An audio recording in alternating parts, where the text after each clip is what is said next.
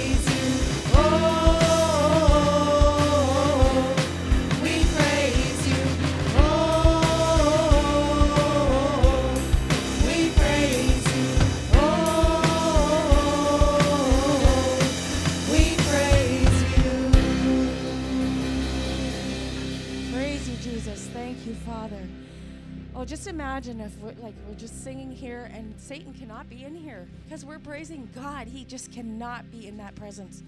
So praise you, Father. Thank you.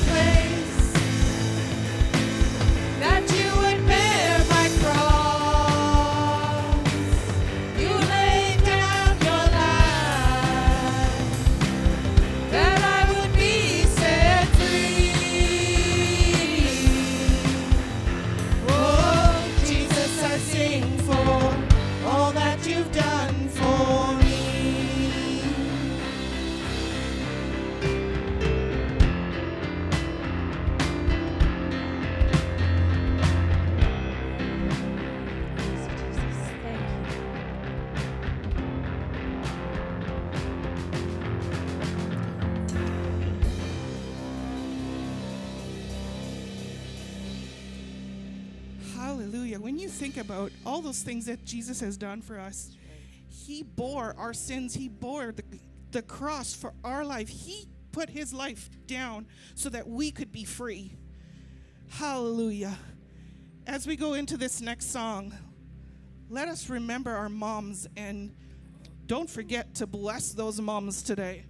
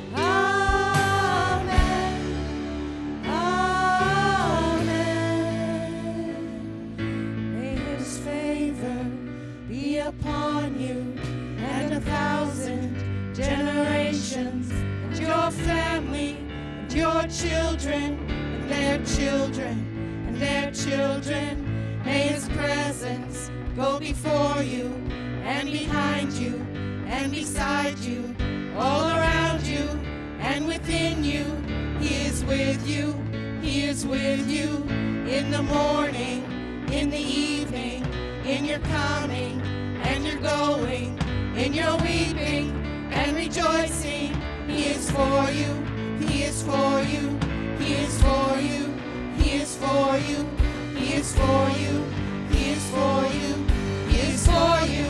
He is for you.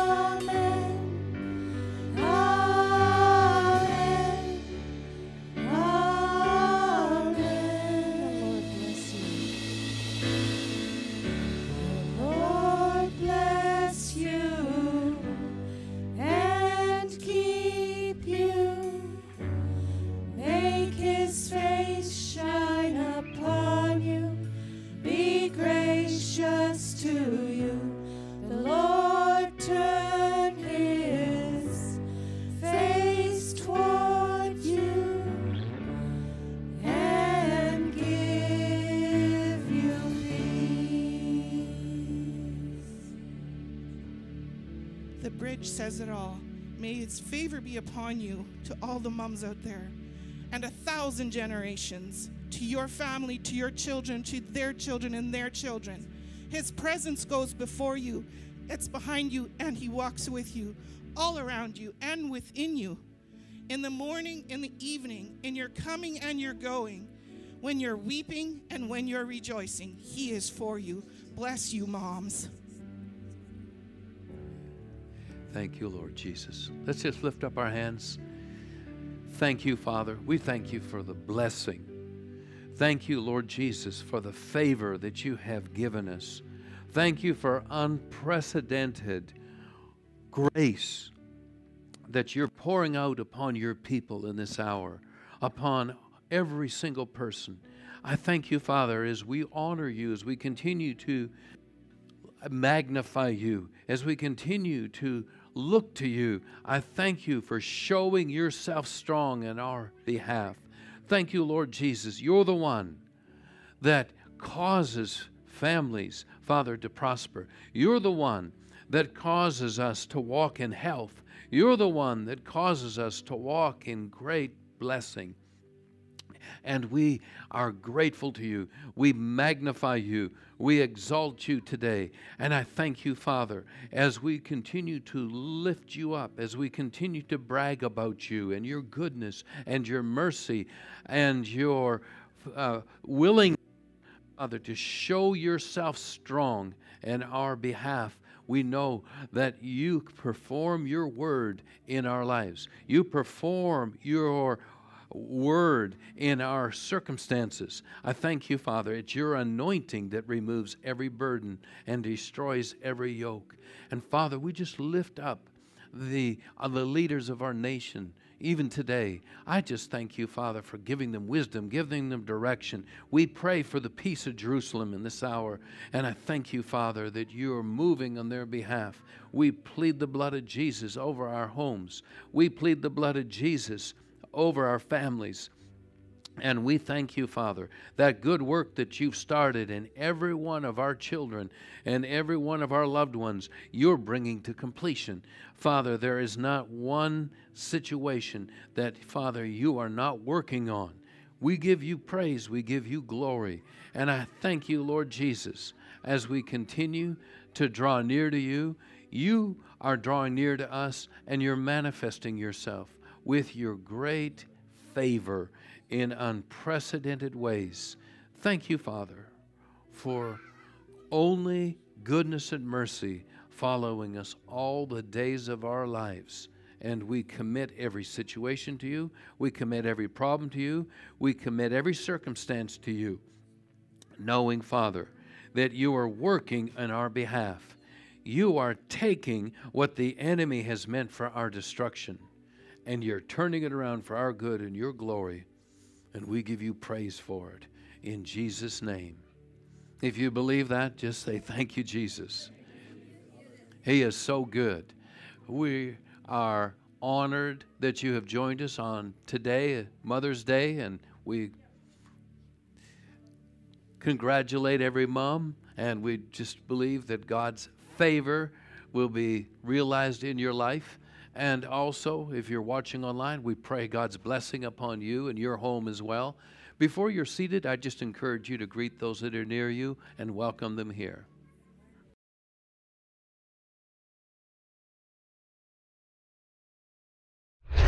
This spring, only one hero can save her family and prevent disaster. Mom, we're gonna be late for school! I don't think so. Whoa. Experience the phenomenon that critics are calling inspiring. Mom, I can't find number 17! Come on, Billy! Dig deep! A lot of fun. Pure genius. Mom, where's my phone? Table. Keys. Bedroom. Dragon Man? Under the couch between the monkey and the flip flop. How does she do that? Created by God to demonstrate his love with grace, elegance, and poise.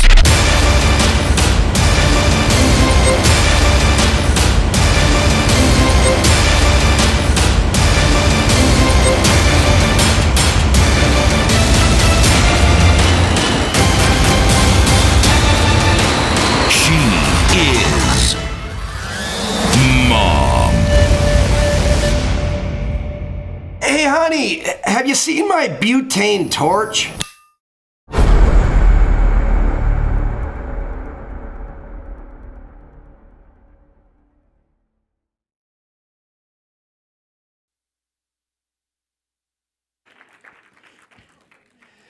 Happy Mother's Day again.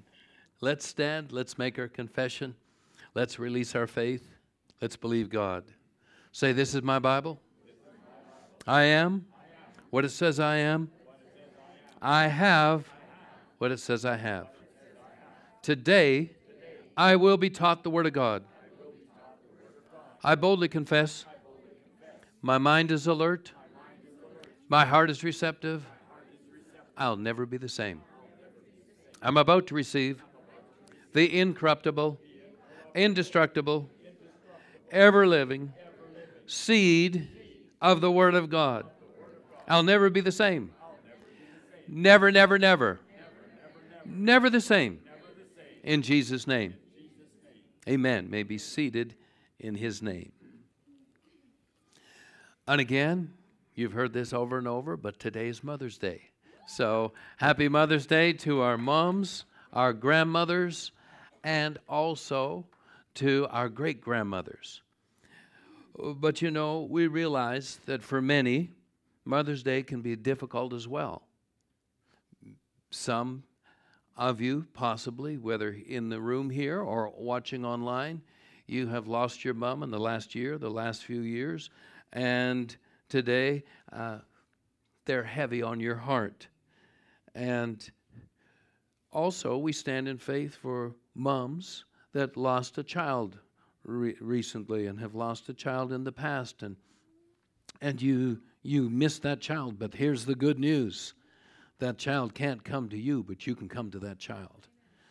That's the that's the beauty of the gospel, and also uh, single moms and par- uh, foster parents. We salute you as well. We know that God has a special blessing in your life as well. but even though this is Mother's Day, I want to share something today about honor that is transcends uh, the role of the mother or the parent. This is a principle that functions in every aspect of life, the area of honor.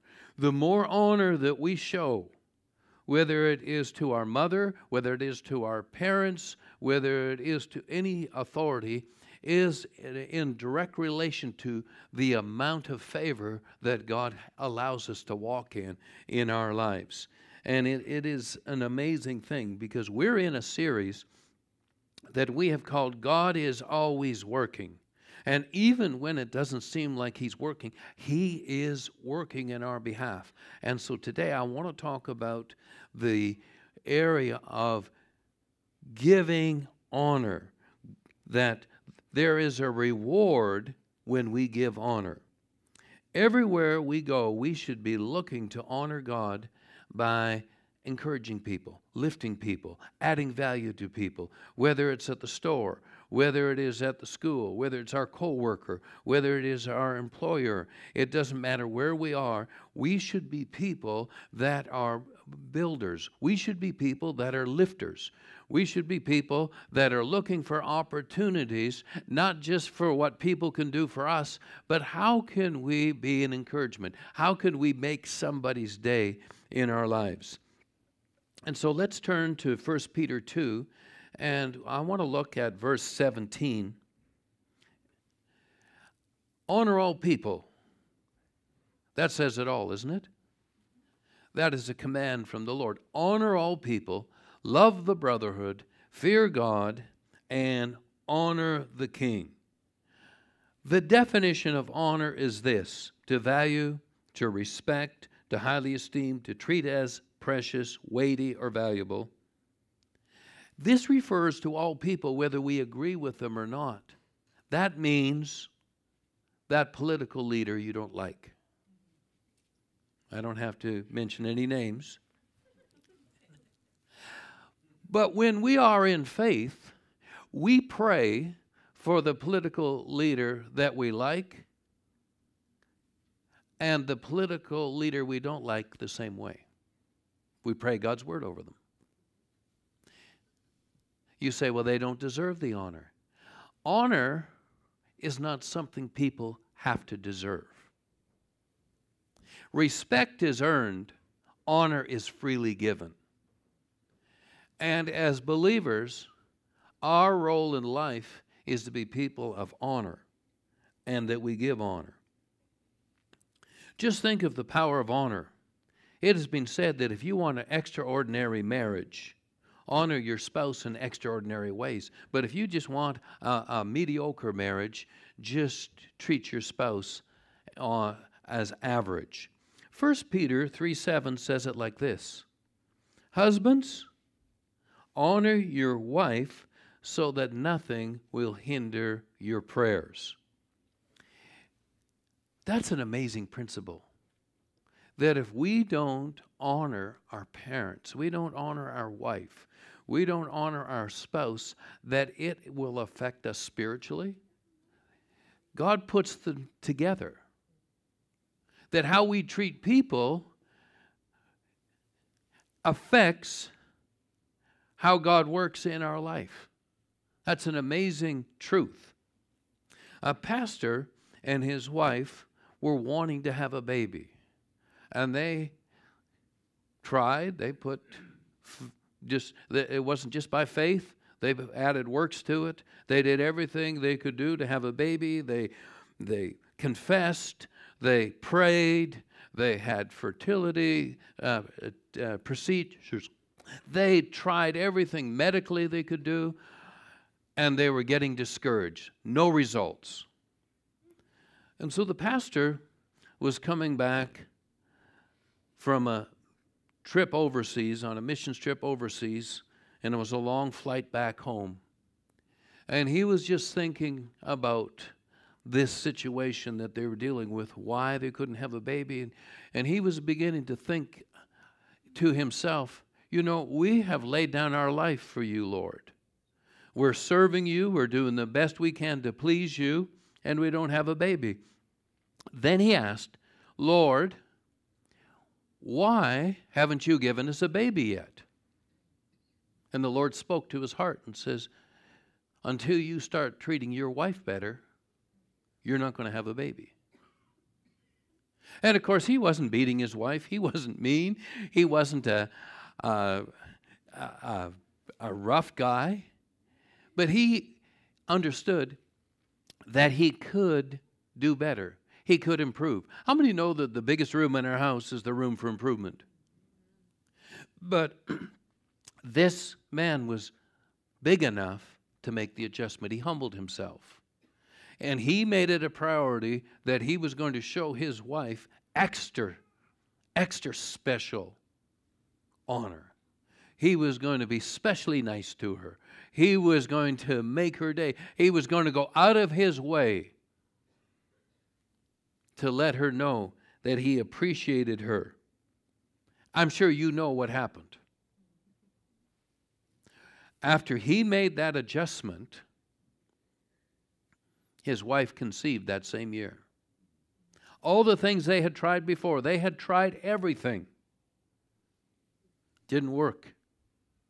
You see, sometimes we're, we, we don't think God's working, but He is working. But sometimes He wants to work on in us before He works for us. Sometimes there's attitudes that need to change. Sometimes there's behaviors that need to change. Sometimes our, some of our thinking needs to change. Sometimes we can't keep doing what we're doing. That God wants to work in our heart and in our lives. And when we make that a change, we make that adjustment, and we make the turn, things happen. And of course, within that year, they had the baby of their dreams. It was it wasn't a big adjustment, but it was an attitude adjustment. And it opened up the favor of God. See, when we show honor, it releases favor upon our lives. You know, sometimes we, we pray, you know, my name's Jimmy. I'll take all that you give me. And we wonder, we're not getting the results we want. But if we have a different attitude. Lord, show me who I can be a blessing to today, who I can lift today, who I can encourage today. All of a sudden, the blessings begin to flow because we get ourselves off our mind. See, God doesn't bless selfish, selfish people. He blesses people of honor. And honor is a choice, it's a decision that we make. And of course, if we would start showing honor, we're not just talking to our wife, we're talking about anyone in authority. Showing honor to the police, showing honor to a school teacher, showing honor to the soccer coach, so showing honor to our coworkers, showing honor to our employer releases God's favor in our lives. Galatians 6 7 says this For whatever a man or a woman sows, that and only that is what they will reap. See, the amount of honor that you and I show to others is the amount of favor that God multiplies back to us in our personal lives. Honor lifts, it encourages, and it builds. Well, people say, well, I would honor people, but not everyone's honorable. Again, honor isn't something that has to be earned. Honor is a gift, it's freely given. You've probably heard about former President Ronald Reagan and his wife Nancy. President Reagan and Nancy were driving through LA one time, and President Reagan stopped at a gas station. And while they're at the gas station, he noticed that the gas attendant used to be his wife's Nancy's former boyfriend when she went to high school. And so when they drove away from the gas station, Ronald Reagan said to his wife, Isn't that odd, Nancy? If you had married that guy, you would be the wife of a gas station attendant instead of the president's wife. Nancy says, Ronald, dear, you've got it wrong. If I had married him, he would be the president of the United States. Because she knew how to honor and bring out the best in people. Sometimes we don't understand what a word is until we understand what the opposite of it is. What would be the opposite of honor? Dishonor, disrespect, devaluing, putting down, pointing out faults and weaknesses, showing a person what's wrong with them. That's dishonorable. It's ungodly. It's devilish. Letting people know that they're just ordinary. I, am telling you, when we're made in God's image and we're made in God's like, likeness, we're not ordinary people in any way. To honor somebody means that you value them. Ed Cole, Dr. Edward Cole, said it like this He says, Everything in life appreciates or depreciates. When something appreciates, it gains in value. When something depreciates, it loses its value. Dr. Cole said that's the same whether it is houses, lands, cars, stocks, anything that you could think of, it either appreciates or depreciates. And he says people are the same.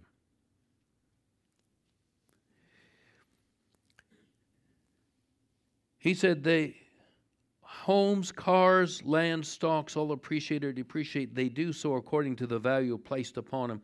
Human beings also appreciate or depreciate according to the value that's placed on them. And that's a choice that we make. Now, I'm sure you've heard of the scripture before, but we can look at Ephesians 6 1 to 3. Children, obey your parents because you belong to the Lord, for this is right, or this is the right thing to do. Honor your father and mother and of course, as we go through this, we'll find out that that doesn't change as we get older. Honor your father and mother. This is the first commandment with a promise. If, say if, if you honor your father and mother, things will go well with you and you'll have a long life on the earth. Our attitude towards our parents affects every other relationship that we have in our life.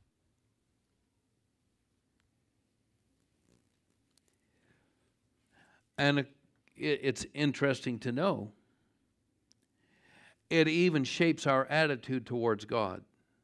The way we see our parents is the way we see God. If we, if we see God as somebody that's indifferent, somebody that's insensitive, it's probably because we felt that way at home and we transferred that attitude towards God. How you treat your parents really matters to God. So much so that He said that if you will honor them, all will go well with you. How many like all to go well with you? It takes more than prayer. It takes results. It takes action. All will go well with you and you'll live a good long life. Who wants to live a good long life if things are not going well? You want to live long and you want to live strong and you want to be blessed and you want to enjoy life.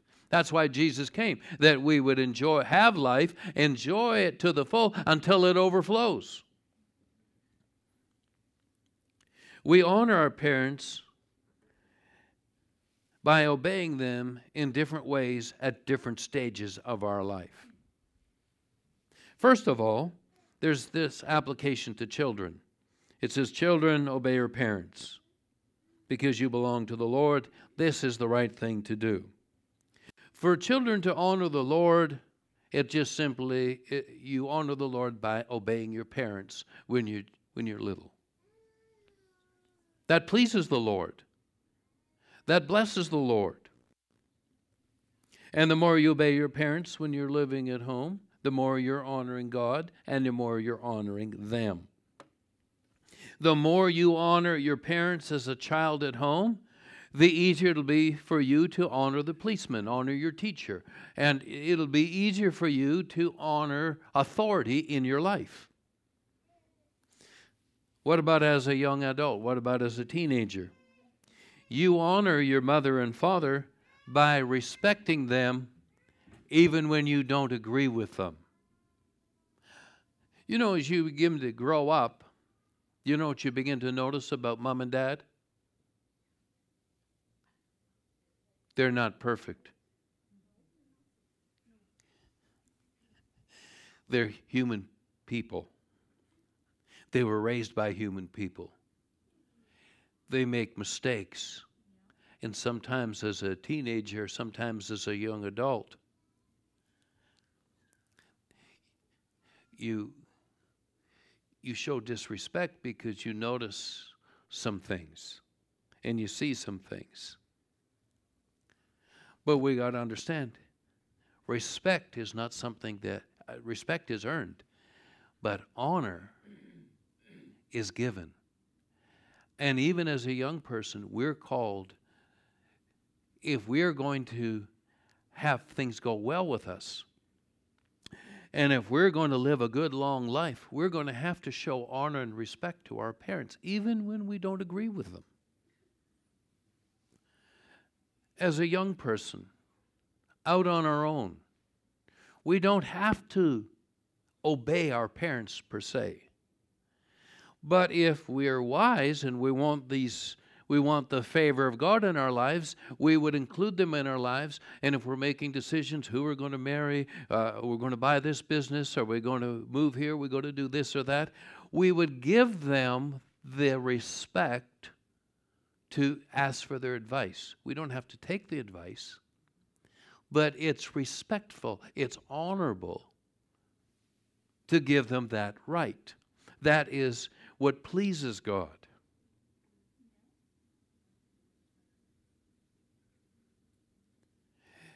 That's how we relate as, as a young person. We respect them. And we, we were talking to a young man, and his mom abandoned the family, left. And of course, he's wanting to get married. And I said, What's your attitude towards mom? He's a young man. How can he respect his mom when she's left?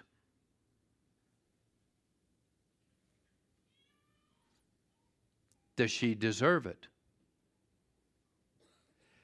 So, because I said, if you don't deal with this right, it's not going to go well with you and it's not going to go well with your new marriage. It's going to affect it negatively. You've got to get a hold of this. And I was so proud of this young man. Do you know what he said? He said, I've already forgiven her. And he says, I'm believing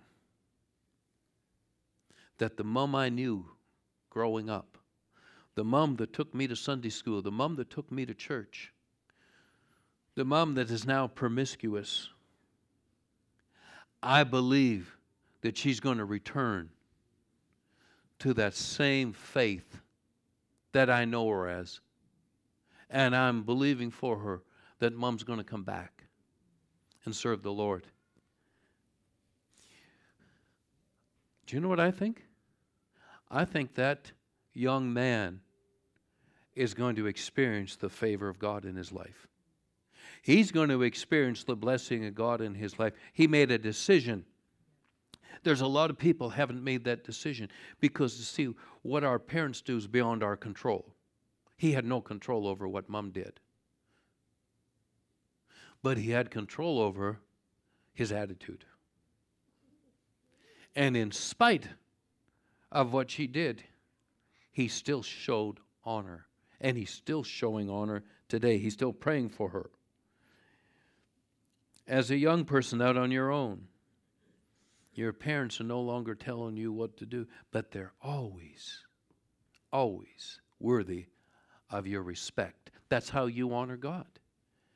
That's how you cause Ephesians 6 1 to 3 to work for you, even when you're out of their home and you're on your own. How do you honor dishonorable people? You choose to. It's that simple. And I would just encourage anyone make sure that before your parents pass away, that there's no unfinished business between you. Make things right. Thirdly, how do you honor your parents when they're older? You support them. They raised you, they took care of you. Now that they're older, if you want to honor God, you take care of them. You protect them. Parents are supposed to leave an inheritance to their children's children, but sometimes they're not in a position to. And sometimes we have to look after them financially. Sometimes we have to run errands for them. Sometimes we have to be there for them. That's our responsibility. If we want the blessing, how many would like to have the blessing and favor of God on your life? This is how you get it. This is one of the main ways. If a parent has a need, the child is to meet that need. In the book of Ruth, this is how we see how Ruth came up in life. We've been in the book of Ruth. And Ruth, her life was spiraling downhill. She lost her husband. She lost her home. She lost her friends. She was destitute. People in that society, when, when a widow was destitute, they had to turn to a, a lifestyle that wasn't honorable. Well, they didn't have to. They thought they had to. They thought that was the only way up. But I'm telling you, honor is the way up. And this new believer made a commitment, and we'll look at it in Ruth 1:16. This was a turning point in her life. Let's look at Ruth 1:16. Ruth replied, "Don't ask me to leave you and turn back. Wherever you go, I'll go. Wherever you live, I'll live. Your people will be my people, and your God will be my God. This wasn't even her mother, but the principle's the same. It's still a close relative. The blessed, the, the responsibility is the same, the blessing's the same, God is the same. This was this was her mother-in-law. And I'm telling you, her mother in law was a mess. They both had gone through the same thing. Ruth came out good. Naomi, her mother in law, not so good. She was bitter. She was angry. She was unfulfilled. She was blaming God. She was mad at everybody, didn't have a good word to say about anything or anybody in one sense, she really didn't deserve somebody to take care of her. She wouldn't be easy to take care of, I'll put it this way.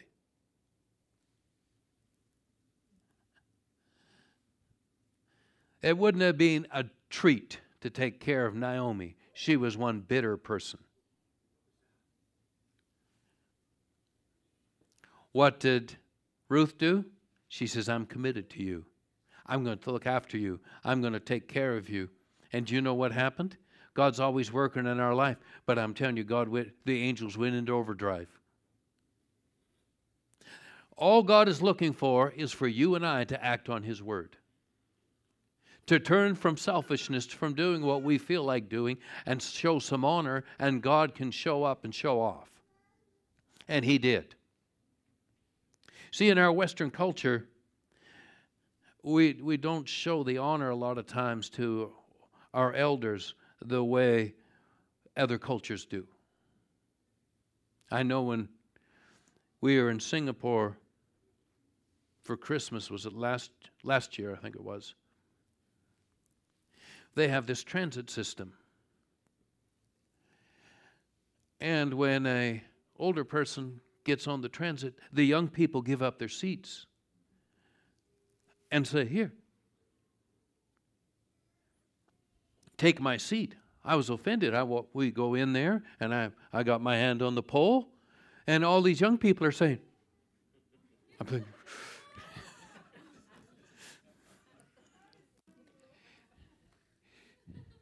That's their culture. That's what they do. So when we were going to go to church for the Christmas service, we never did get in because there's too many people trying to get in. But we were on the lineup, and I had Nolan's skateboard. They had a joke about that because the skateboard, they looked at me and they looked at the skateboard. And they, uh, some of the workers at the church were saying, just show me how that works. but you see, even when I was growing up, we didn't call people by their first name that were older. We called them Mr., Miss, Mr. We, we didn't call our teachers by their first name. Not to their face, anyway. The doctor was the doctor, the dentist. Every, it, we, people were given honor. People were given respect. Uh, yes, ma'am. Yes, sir.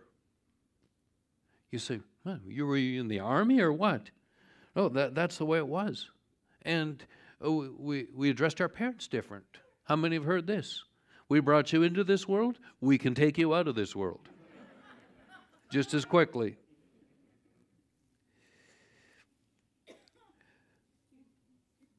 But Naomi, here's my thought. Let's look at Ruth 2. She didn't have to look after her mother in law, but if she wanted a breakthrough, if she wanted her prayers answered, if she wanted to come up in life, this was essential. One day, Ruth the Moabite said to Naomi, and I'm saying Naomi's bitter. Let me go out into the harvest fields to pick up the stalks of grain left behind by anyone who is kind enough to let me do it. And Naomi replied, All right, my daughter, go ahead. She was like a daughter to Naomi. So Ruth went out to gather grain behind the harvesters. And as it happened, you know, she found herself working in a field that belonged to Boaz, the relative of her father in law, Elimelech. I just want you to know this was no coincidence. This just didn't happen. It was their, her honor to her mother in law. She was like a daughter to Naomi. And Ruth tra- treated her like her mom and she honored her. And to make a long story short, she went out and she worked from morning to night, day in, day out, to look after this cranky, grumpy widower who had a root of bitterness. And it got people's attention.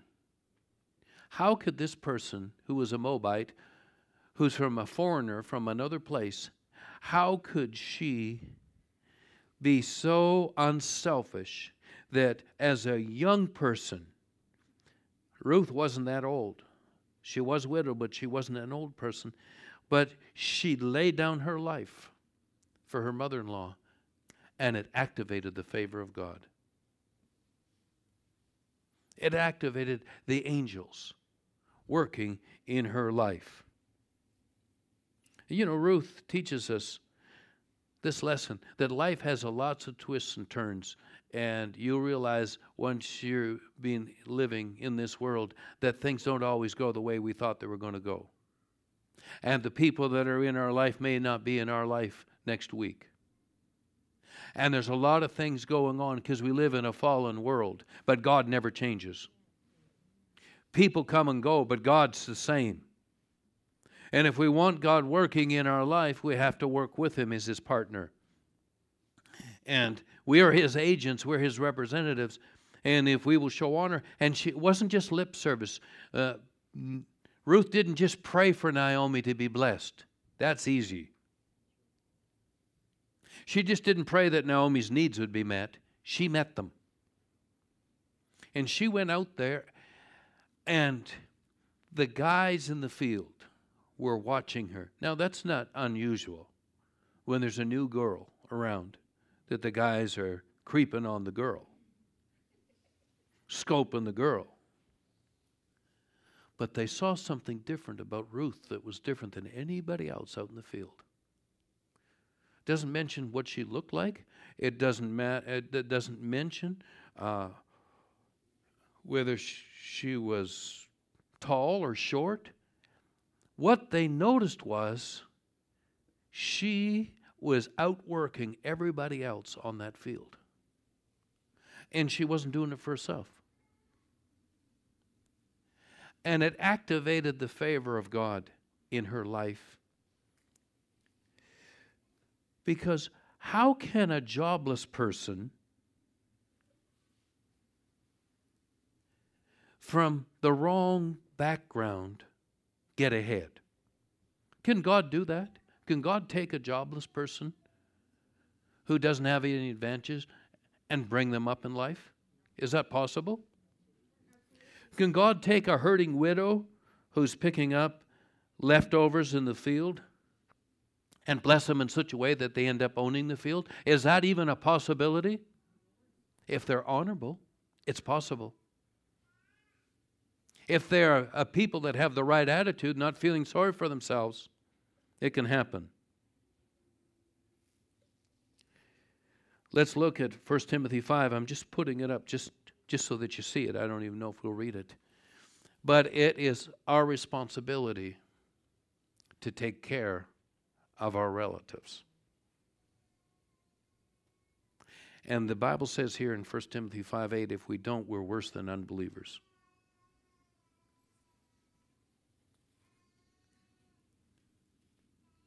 That's one thing they noticed with Ruth. She's a new convert, and she's walking in this light. She's taking care of somebody like that. You know, Linda's mom passed away when she was young. We call everybody that's younger than us, you know, real young. But she passed away when she was young, and so then we had to take care of Linda's dad he was legally blind. And he had one gear. And I'll tell you, it was not overdrive.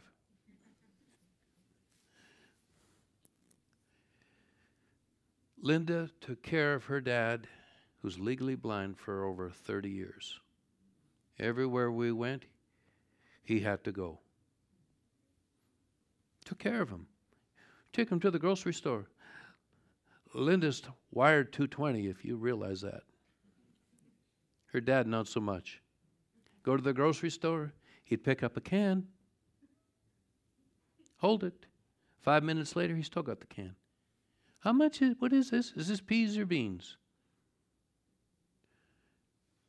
How much does it cost? Oh, that's expensive. Put it down. Ten minutes later, they walk away. Those peas. Can we go back? That's how he operated. And he wanted undivided attention 24 7. He didn't want Linda talking to the kids or talking to me. It was all for him. But she laid down her life for him because it was the right thing to do. And God's blessed her for it. But I'll tell you, there were days we were thinking of phoning the rest of the family. You know, you could help out a bit.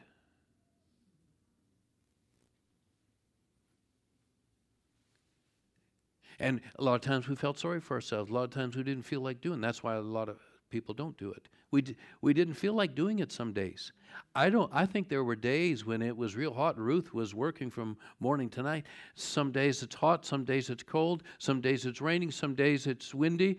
I'm sure there were days she kind of thought, uh, I didn't sign up for this. But because she was an honorable person, she did it, and so Linda kept doing it. And then her dad passed away almost 100 and we thought boy now we can live a normal life because we had just we started this just shortly after we had a young family just starting the ministry. And 30 years serving somebody that can't look after themselves. And then he passed away and we we're thinking boy we can now we can live a normal life just like everybody else. Do you know what happened than my parents. If one wasn't in trouble, the other one was. And they lived almost 100, so another 20 years there. On call. You say, didn't did, wasn't there any more people could look after? Yeah, there was. But what I'm saying is, anytime we show respect to even situations like this, we're sowing a seed for our own future. And we won't take time to look at the other scriptures. But what happened is the workers kept coming to Boaz, who owned the field, and they said, There is a there's a widow out there from another country. We've been watching her, and she is just absolutely doing everything she can to take care of her mother in law. And he said, You're kidding. And so then he started watching her. Now, Boaz was his name. He was the richest, most influential, blessed person in that whole region. He wasn't looking for a girl. Ruth was a widow that was grieving. She wasn't looking for a man, she was looking for some food. But as he's watching her, he's seeing her character. He's watching her, but she doesn't know that he's watching her. He's watching her like a hawk. Not for the reasons you would think, but he is just blown away by her integrity. He's blown away by her character. And so he tells the workers, Look, you tell her she doesn't have to go work in any other field but my fields. And I'm telling you, if anybody touches her, they're dead meat. You, she, she's got the protection. And here's another thing. Uh, she's not going to go behind the gleaner. She's not going to glean behind the workers. I want her to be able to work right with the workers. She doesn't have to pick over the leftovers. She can just harvest it as if it's her own crop. She's getting favor. She's getting favor. No one else was getting that favor. Why was she getting that favor? Because she was giving honor. And she's getting blessed. She doesn't even know why she's getting blessed.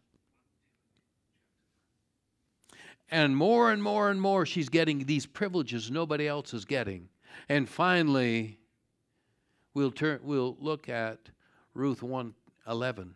Finally, Boaz lets the cat out of the bag.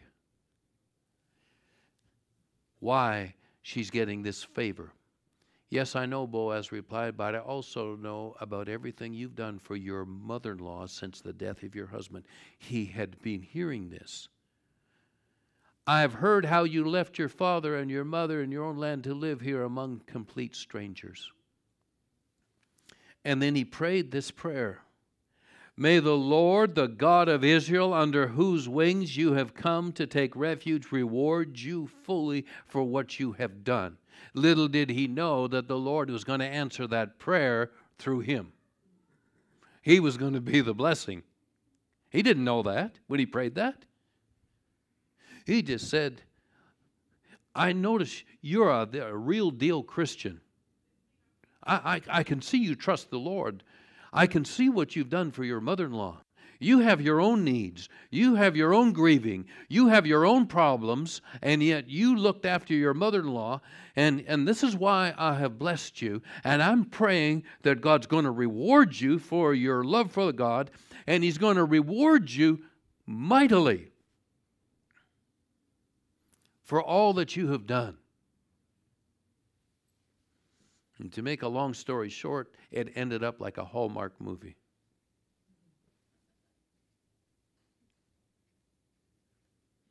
And we'll look at that in another session.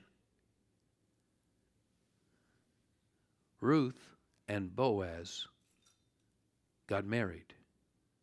This widow who was destitute, this widow who without hope and without God in this world. She didn't have any family there. She didn't have anybody that could spell off looking after Naomi, and Naomi was a trip, I'm telling you. No one to give her any relief. But she did it. And she did it as unto the Lord. And she ended up married to the richest, most blessed, most godly person that you could ever imagine. And you say, that's a coincidence. Those that just happened. Lucky girl. That was not luck. That was the hand of God. You say, but isn't grace free? Isn't grace a gift? Yes, it is. But we access God's grace by faith. And everything in life operates under the seed principle. And when she kept sowing those seeds, the windows of heaven were opening wider and wider over her life. And she didn't even know. She was so innocent, she wasn't even doing it because she knew these principles. So it wasn't a formula to her, it was from her heart. You see, when we give honor, it releases destiny in our life. God was able to take her places that other people couldn't go. I, I want to leave this with you. When you're honorable, especially to those of your own home, and you're respectful, I'm not saying you agree with them, I'm not saying you have to do everything they tell you to do. But if you still are a respectful person, you're going to come up in life. And you're going to walk in blessings that other people are going to be blown away by. And they're going to wonder, how in the world did you do it?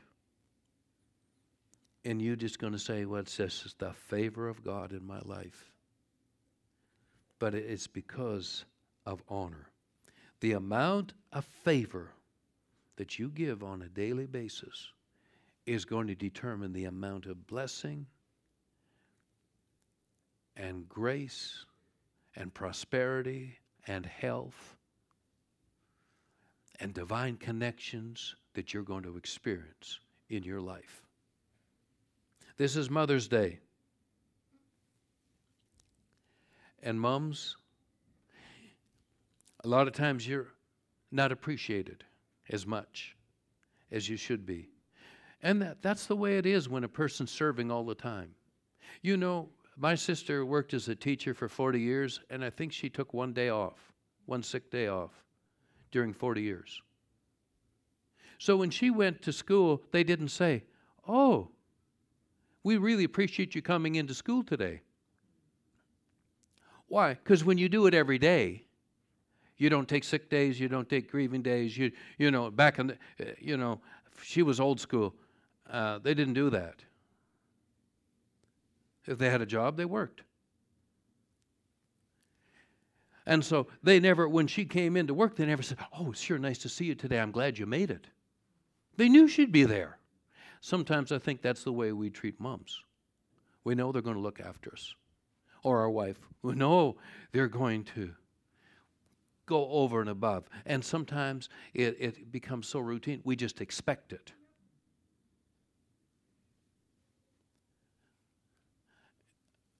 But I, I know one thing God sees it. And I want you to know as a mom, God will reward you for the love you've shown and, and the way you've laid down your life. And I want you to know that what is unseen and unappreciated by people is seen and appreciated by God. And He's going to reward you in ways, He's going to bring favor into your life beyond anything you could ever imagine. Mom, we want to pray for you like Boaz did for Ruth. That the God that you trust and serve will reward you richly for all that you do for your family and you do for your children and you do, do for the people in your life. Let's pray. Heavenly Father, I thank you for the families in this room. And I thank you for the, all the mums that you've blessed every family with. And Father, I ask that you give them the confidence to cast every care, every worry, every anxiety that they have upon you. And where they have lost their joy, where they have lost their enthusiasm, I thank you, Father, for making it up to them. I thank you for strengthening them. I thank you, Father, for causing the joy of the Lord to rise up within them. And those prayers and those desires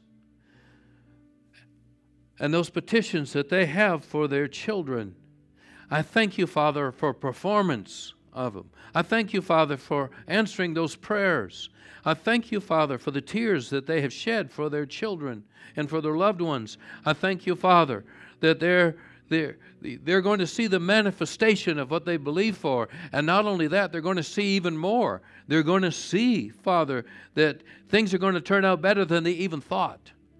And I'm asking, Father, that you give them the wisdom, you give them the, the vision to raise up their children in, in the admonition and in the ways of the Lord. And I thank you, Father, as they continue to pursue you. I thank you, Father, for granting them tremendous favor. Cause them to walk in unprecedented grace in this hour.